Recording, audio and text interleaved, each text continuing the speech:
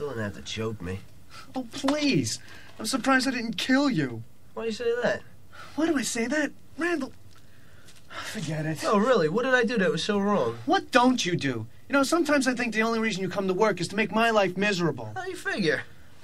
What time did you get to work today? Like 10 or 10 after. You were over a half an hour late, and then all you do is come in here. Yeah, to talk to you. Which means the video store is ostensibly closed. Oh, it's not like I'm miles away. Unless you're out renting video at other video stores. Hermaphrodites. I rented it so we could watch it together.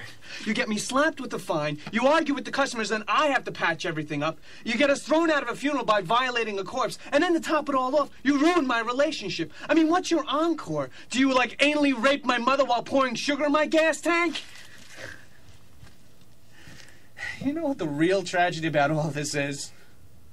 I'm not even supposed to be here today! Oh, fuck you! Fuck you, pal!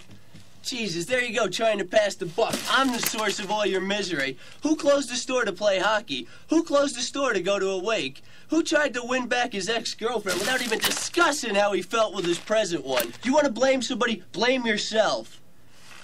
I'm not even supposed to be here today. You sound like an asshole!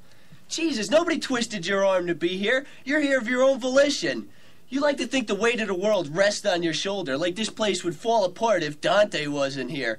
Jesus, you overcompensate for having what's basically a monkey's job. You push fucking buttons. Anybody could waltz in here and do our jobs. You, you're so obsessed with making it seem so much more epic, so much more important than it really is. Christ, you work in a convenience store, Dante, and badly, I might add. I work in a shitty video store, badly as well. You know, that guy Jay's got it right, man. He has no delusions about what he does. Us, we like to make ourselves seem so much more important than the people that come in here to buy a paper or, God forbid, cigarettes.